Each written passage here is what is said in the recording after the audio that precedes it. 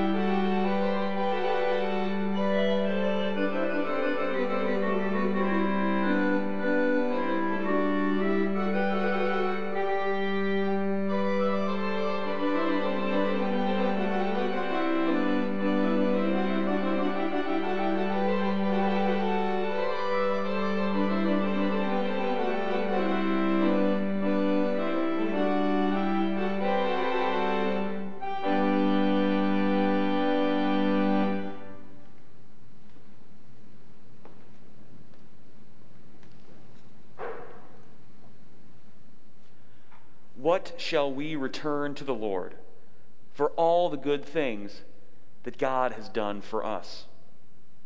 We will lift up the cup of salvation and call on the name of the Lord. Praise the Lord. The Lord's name be praised. Let us worship God.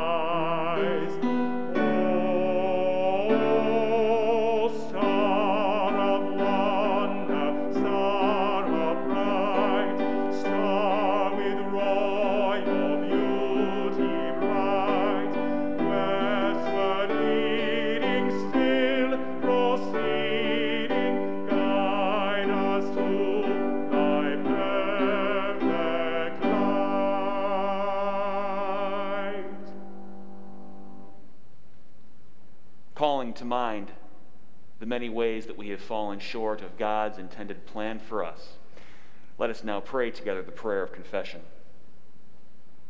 Eternal God, in whom we live and move and have our being, whose face is hidden from us by our sins, and whose mercy we forget in the blindness of our hearts. Cleanse us from all our offenses and to deliver us from proud thoughts and vain desires, that with reverent and humble hearts we may draw near to you, confessing our faults, confiding in your grace, and finding in you our refuge and strength. Through Jesus Christ, your Son. Let us now continue to pray in silence.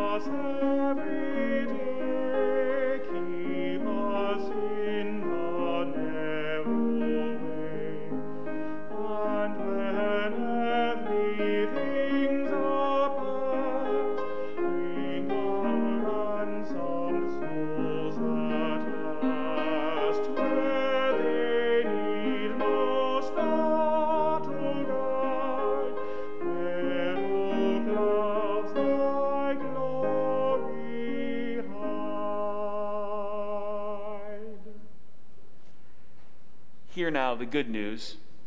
The Lord is merciful and gracious, slow to anger, and plenteous in mercy.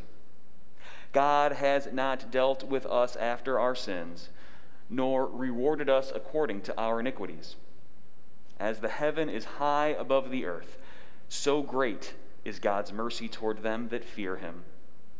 As far as the east is from the west, so far has God removed our transgressions from us. In Jesus Christ, we are forgiven. Amen.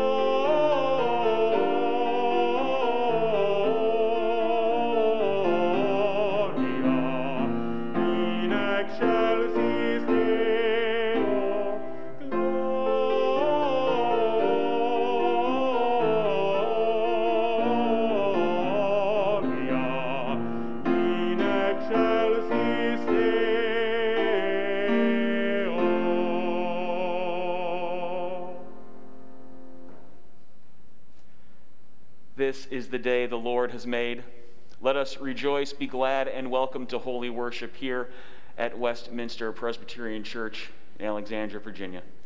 Church where whether we're near or far apart, we are bound together in the love of Jesus Christ. A special welcome to those of you here worshiping with us in person this morning. A special welcome to those of you worshiping virtually, watching this online. And as Patrick would always remember, a special welcome to those of you who are worshiping with us on the phone. We invite everyone to record your attendance, to make your offering, if you would like, on our church webpage. There you can register, sign in, uh, make an offering, fulfill a pledge, or even leave a prayer request if you wish. The flowers today have been dedicated by Gay Schrum in loving memory of her husband, Charles Rush. As you can tell by the elements that adore our communion table, we will be celebrating the Lord's Supper later in today's service. And we invite all of you who are at home to gather bread and beverage of your choice so that we can remember and rejoice together in this sacrament as a faith community. Our opening hymn this morning reminded us that Magi from the East traveled afar to present their very best at the feet of the babe Jesus. We too, now that it is our time of giving and of offering, should do the same. Let us pray. Loving God, we give you great thanks for the many blessings upon which you shower us, have showered us, and will continue to shower down upon us. May this church continue to utilize those gifts to spread your love throughout all of creation. Amen.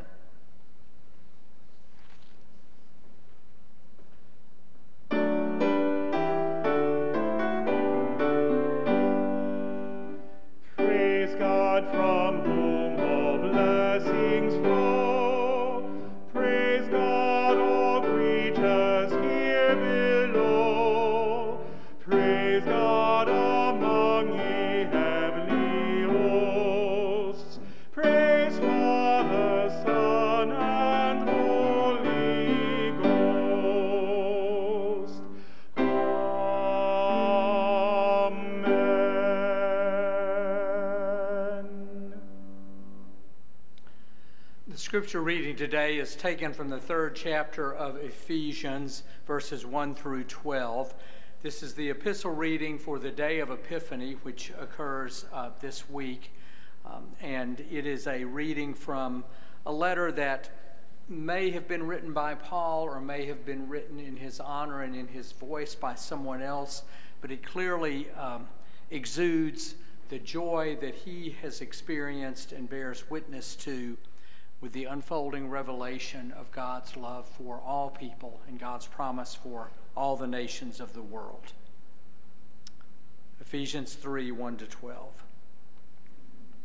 This is the reason that I, Paul, am a prisoner for Christ Jesus for the sake of you Gentiles.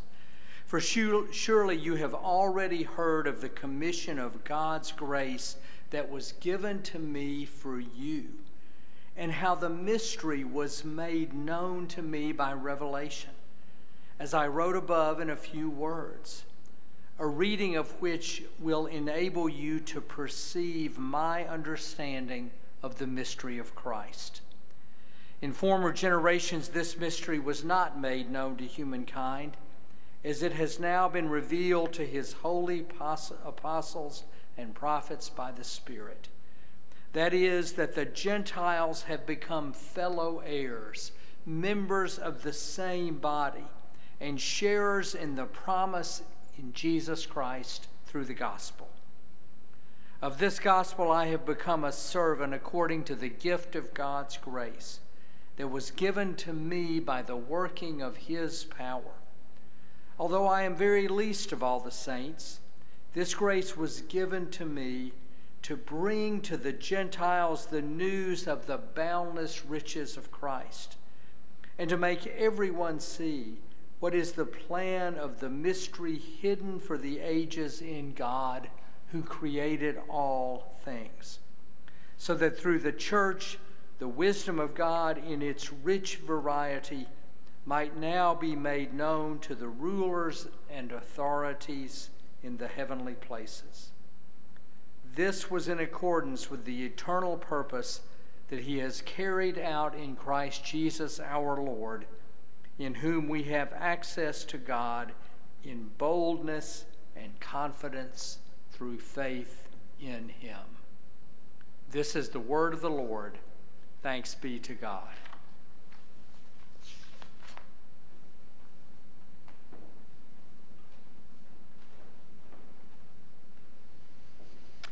I'd like to invite all the children and the youth and the young at heart to gather around your television or your device for our children's moment this morning. As Pastor Larry just read, and as Ms. So and Dr. Ben just played and sang, today we are celebrating and observing Epiphany. Christmas, the season of Christmas has how many days? Twelve, right? And the Magi brought three gifts, right? Gold, frankincense, myrrh. But the Gospel of Matthew only tells us that Magi from the east came. It doesn't say how many, doesn't say their gender or genders. But during this children's moment, I'd like us to focus not on the individual traits, the gifts, where they came from, who they were, but what they did together. Those magi traveled afar and didn't let anything stop them from worshiping Jesus astrologers, wise, sage people. They, they saw a star in the east and decided to follow it. It would not be a short journey, it would be a long and tedious one. That did not stop them. They had different ideas about what to bring. Perhaps they bickered, hey, my myrrh is so much better than your frankincense. We don't know. But together they brought their best. And those different ideas didn't stop them. When they finally got close to their final destination, they met Herod. And Herod did his best to not let them see Jesus or even to experience the Jesus that they had traveled so far to see. Not let anyone else worship Jesus. They even had to go home via a different road. But that did not deter the Magi. It's important for us today to remember that worship is not as easy as it used to be. It certainly is a little different, right? We might not be able to be here in this space. We might not be able to see our friends. We might have to worship at 4 o'clock in the afternoon because 11 just doesn't work for us live. But just like those magi, that should not stop us from worshiping Jesus.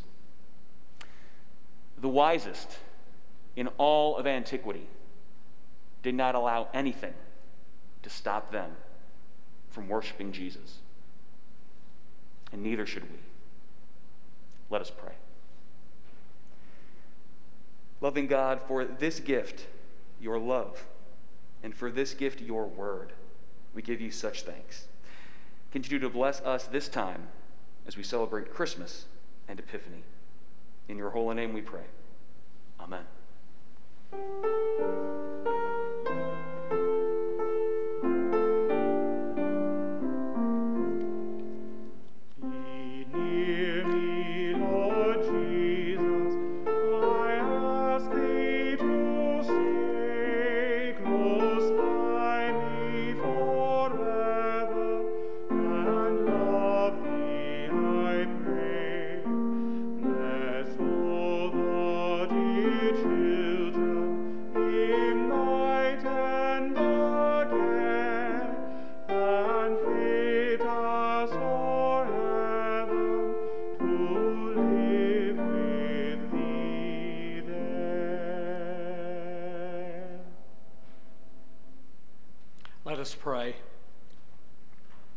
Richard Niebuhr once wrote that revelation allows for interpretation of every occasion in the life of people.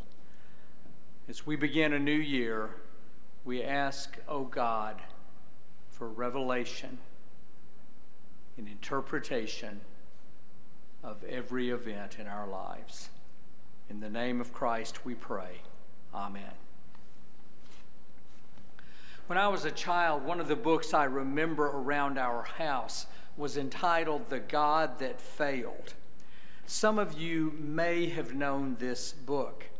It provided firsthand accounts of six leading intellectuals of the 1940s, including Arthur Koestler and Richard Wright, who were initially involved in communism, but who became disillusioned and abandoned it as it became more and more brutal, particularly under Stalin. Now, I didn't read the book as a child, it's not much of a children's book. But later in high school, I was assigned one of its essays, and it's at that point that I remembered seeing the book around the house. It is a, it is a story of people who truly changed their minds about something major in history, about a system that had become a God to them and had failed and led them to look somewhere else for what is good and right and beautiful and just for the human creature. This week I received a newsletter from the history department of the University of Arkansas from which I graduated in 1976. Since 1981, the College of Arts and Sciences in that university has borne the name of the former United States Senator J. William Fulbright. The description of the college and of its name reads as follows J. William Fulbright was a University of Arkansas student who graduated in 1925 and later became a law professor and then president of the university from 1939 to 1941, all prior to serving as a United States Senator for many years. The university recognizes that Fulbright's political leg legacy is controversial and complex. Along with signing the Southern Manifesto and opposing the landmark 1954 ruling of Brown versus Board of Education. Fulbright voted to filibuster the Civil Rights Act of 1964 and voted against the 1965 Voting Rights Act. These actions directly contradicted his efforts to advance cultural understanding, peace, and international exchange through education. J. William Fulbright supported the creation of the United Nations, and his efforts to increase mutual understanding between people and nations resulted in the creation of the Fulbright Program, the world's largest international educational exchange program with more than 370,000 alumni and thousands of students and scholars from 160 countries who participate annually. The website then went on to say It is his work to enhance cultural understanding, peace, and international exchange through education that we honor, along with his service to this institution as president. How we view past leaders is an important topic. And many colleges and universities are grappling with what is right while working to understand the complete history of those involved and what we can learn from the process. There's no better place to have this discussion than a college campus where we value conversation, learning, and debate. I noticed in the newsletter that a very young professor who was new to his teaching career when I was an undergraduate has gone on to become a biographer of both Fulbright and of President Lyndon Johnson, and he is rightly involved in this effort to determine change. Finally, as I indicated around Christmas, I've been rereading Marilynne Robinson's 2004 novel, Gilead, in which John Ames, a third generation minister in the fictional town of Gilead, Iowa, writes a memoir that he hopes his young son will read when the boy becomes older. Because Ames is 76, and his son is only seven, he believes that he will pass away before his son becomes an adult. Ames relates a time when his own father, who was also a minister in Gilead, tried to convince him to leave their small town for the larger, wider world. His father had said, We have lived within the limits of notions that were very old and even very local. I want you to understand that you do not have to be loyal to them all of the time. But the young Ames had replied to his father, the Lord absolutely transcends any understanding I have of Him, which makes loyalty to Him a different thing from loyalty to whatever customs or doctrines or memories that I associate with Him. The younger Ames stayed in Gilead he inherited the congregation from his father, and he preached there for over 50 years. During his ministry, he sought to see the hand of God, sometimes in, sometimes above, and sometimes in opposition to changes that were occurring in American society between the two world wars as reflected in the lives of his parishioners. I need not remind you of how much our world has continued to change since the period that John Ames was narrating. Women received the vote in our country only shortly after World War I. And while, at least in the Presbyterian Church, even into the 1950s, it was rare and in some instances forbidden for women to serve as elders or deacons, let alone as ministers. Among some congregations in the Deep South, it was disallowed for black people to be admitted to worship. Better yet, to become members of the church. And this had nothing to do with COVID. Late in the 1970s, a process began in the Presbyterian Church that 40 years later led to the acceptance of gay and lesbian elders, deacons, and ministers. And in the past decade, for the church to conduct same sex marriages. And more recently, many families, businesses, school systems, and state legislatures wrestle with the request to recognize people by the gender with which they identify rather than the body with which they were born. There are few regions, institutions, enterprises, or even families which have not been touched by questions of war and peace, of race, of sexual identity, in terms of who is accepted and what is acceptable, no matter how the word acceptance is defined, and no matter who does the defining. If we take a long view of history, which I am inclined to do, we go back not just to the founding of America or the development of the Enlightened or the establishment of the Holy Roman Empire a few centuries after the birth of Christ to trace the impact of change in society and therefore on the church.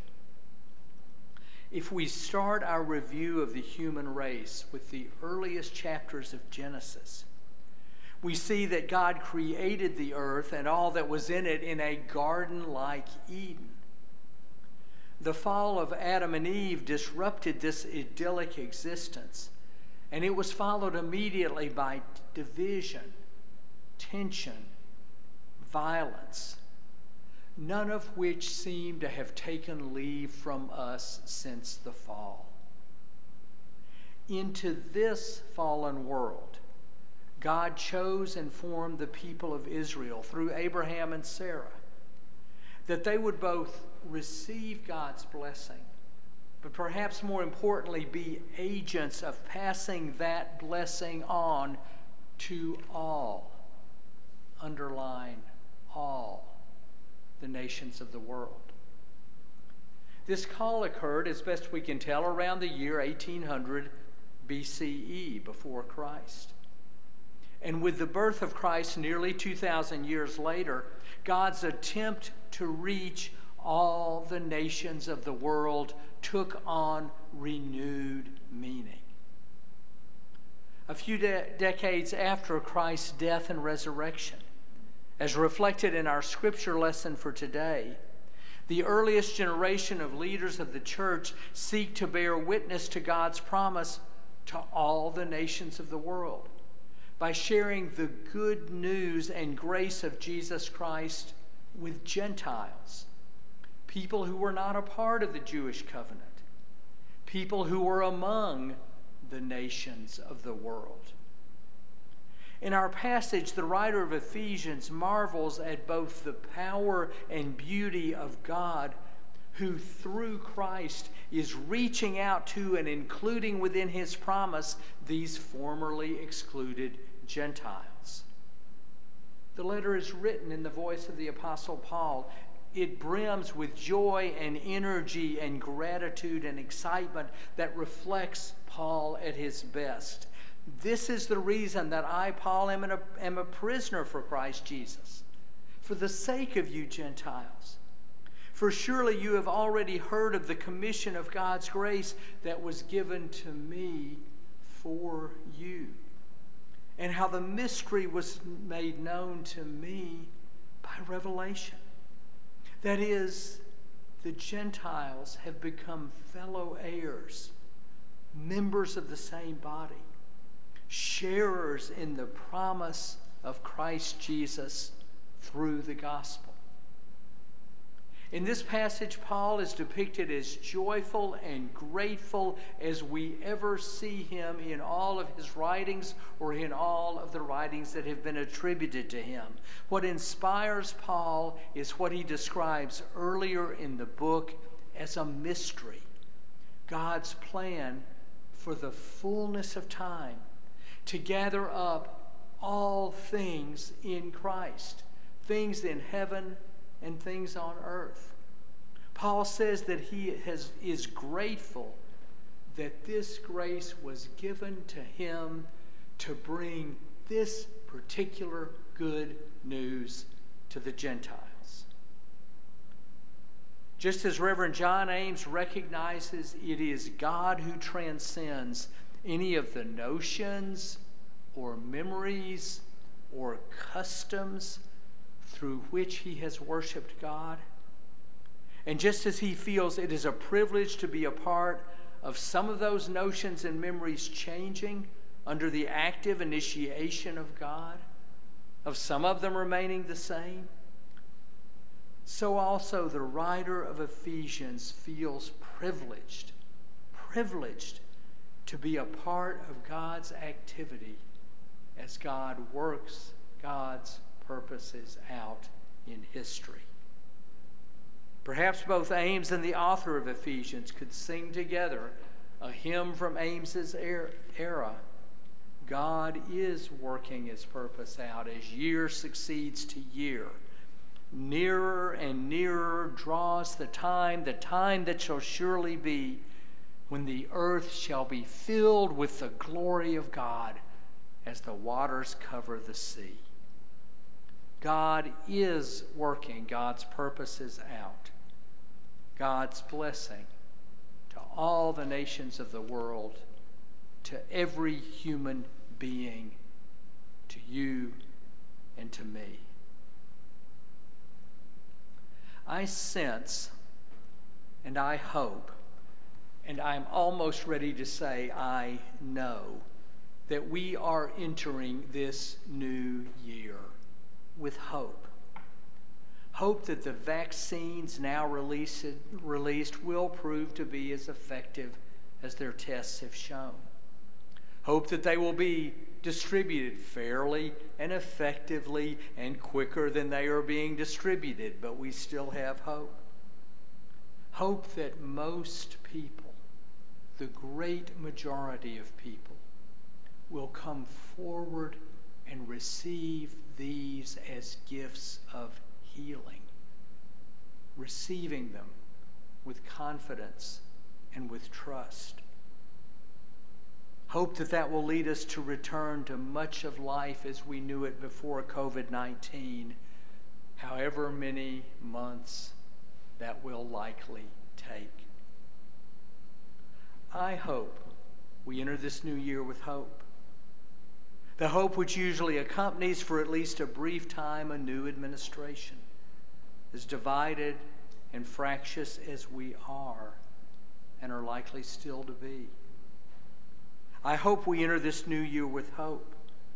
The hope that we will, during this upcoming year, once again hear the singing of choirs. Once again, ourselves touch and partake and ingest and feel and be nourished by the serving of bread and wine as it is passed to us or as we come forward to receive it. As we enter this new year, I hope that we're able to resume and renew in person friendships, family relationships, student teacher relationships, visits to and from grandparents to see newborn children. I hope we are able to find or resume love and marriage.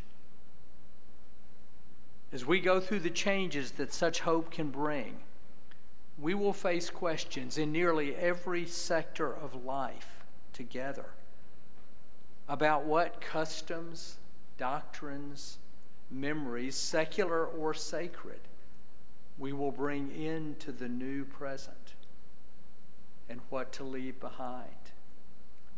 We'll rightly ask how frequently will we need to go to an office to work? How frequently will we need to go to a classroom to teach or learn?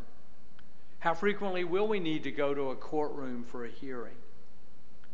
How frequently will we need to join others in a sanctuary for worship prayer, singing, and life together as a congregation of the people of God. We will continue as a nation and as a church to ask how to bear witness to the reality that God's promises extend to and include all the nations of the world. We will ask with renewed intentionality and vigor what structures and laws and customs and traditions and norms and rules will need to be retired and which will need to be added to bear witness to and live into the reality given to Abraham and Sarah and confirmed by Jesus Christ and borne witness to by the writer of Ephesians, namely that all the nations of the world are worthy of our attention, that all people in the world are worthy of our attention because they receive God's attention. But as we step into this new year, celebrating it, if for no other reason than 2020 is over, what a time to recognize and remember that God is working God's purpose out and that we are privileged to be a part of it. We don't initiate it, we don't control it, we don't determine its outcome. We just join it joyfully. As Ames says near the end of his memoir, memoir as he writes to his young son, there are a thousand, thousand reasons to live this life, every one of them sufficient. Welcome to 2021. There's a thousand, thousand reasons to think it will be a good year. God is working his purpose out as year succeeds to year. Amen. うん。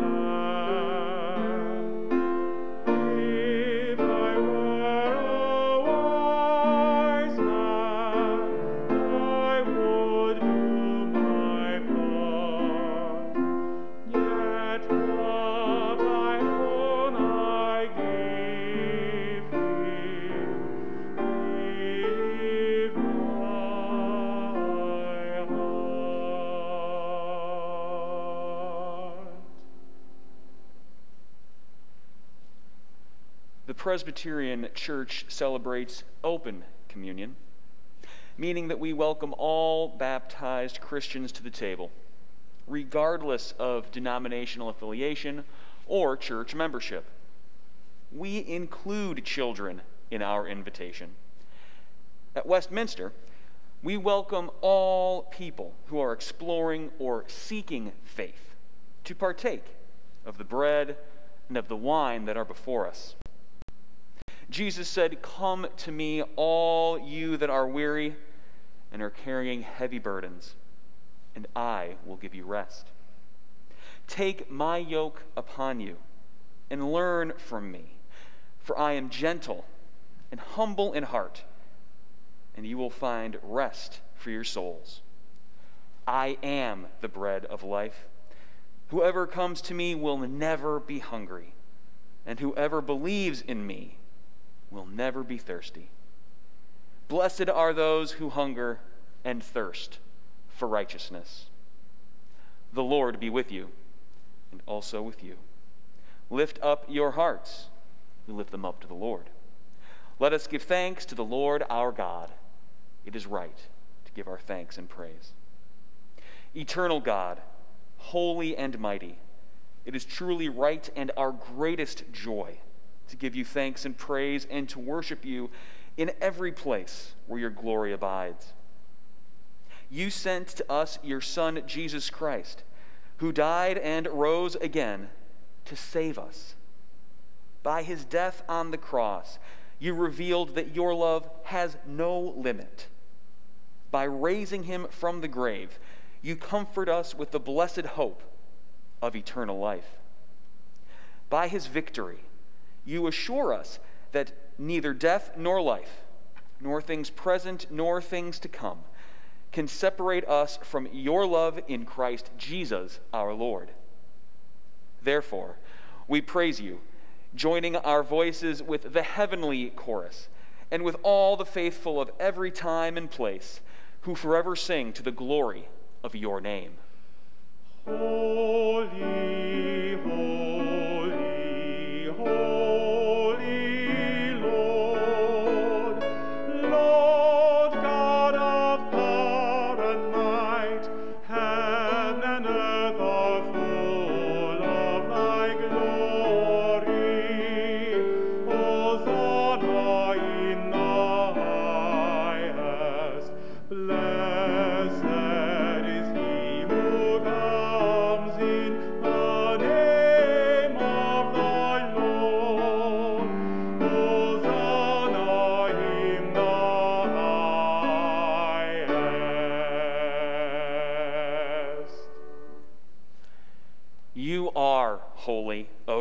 majesty, and blessed is Jesus Christ, your Son, our Lord.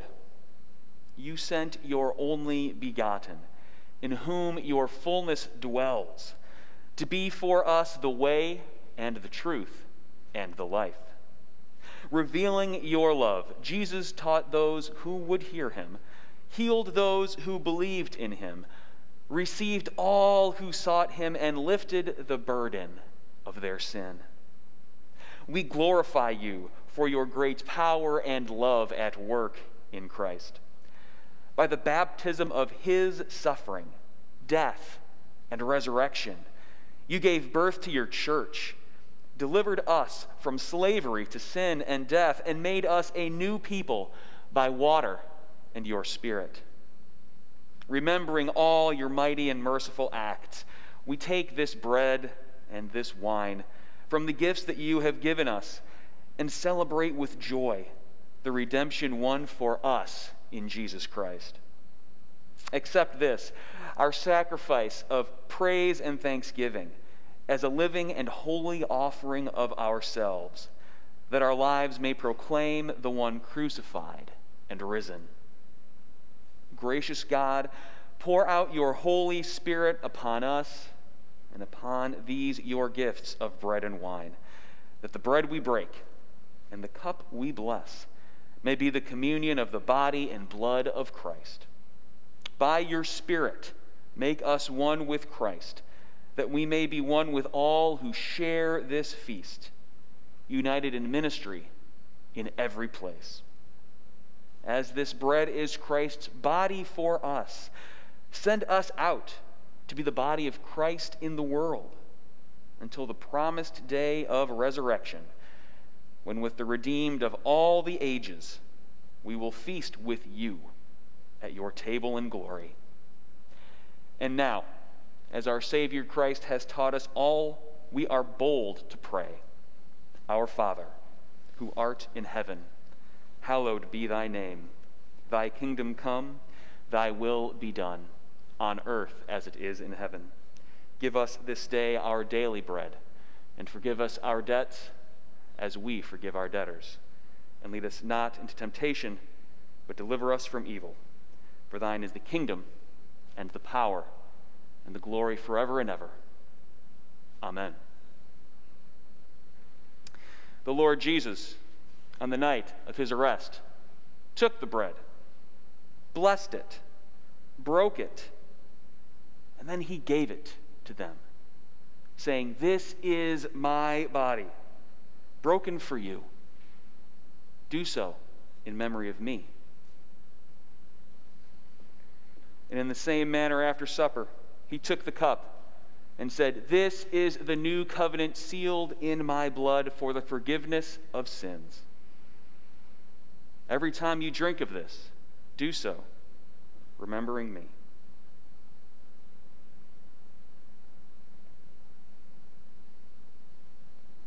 Friends, worshiping virtually with us, I invite you now to partake of this foretaste of the heavenly banquet. For these are the gifts of God for the people of God. Amen.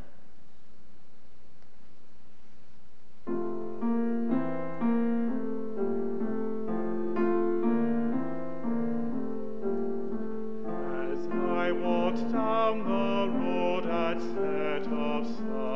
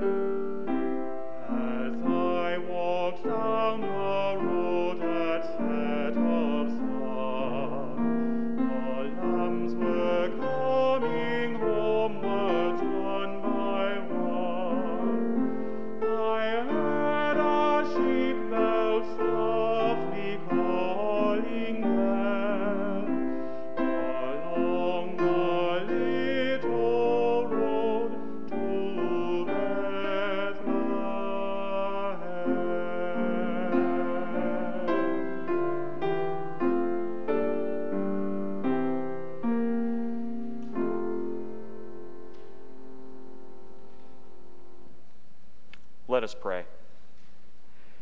Eternal God, we give you thanks for this holy mystery in which you have given yourself to us. Grant that we may go out into the world in the strength of your Spirit to give ourselves for others. In the name of Jesus Christ our Lord.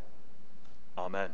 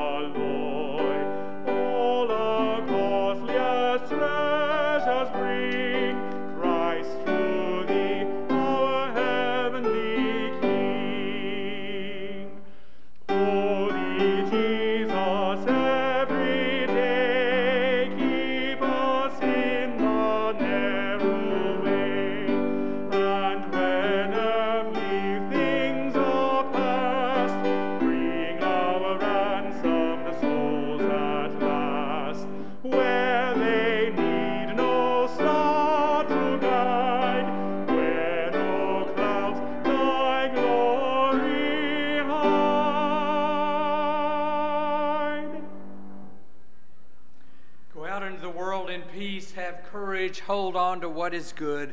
Return no person evil for evil. Strengthen the faint-hearted, support the weak, help the suffering, honor every human being, loving and serving the Lord and rejoicing in the power of his Spirit. May the Lord bless you and keep you. May the face of the Lord shine upon you and be gracious unto you. May the countenance of the Lord be lifted upon you and give you peace.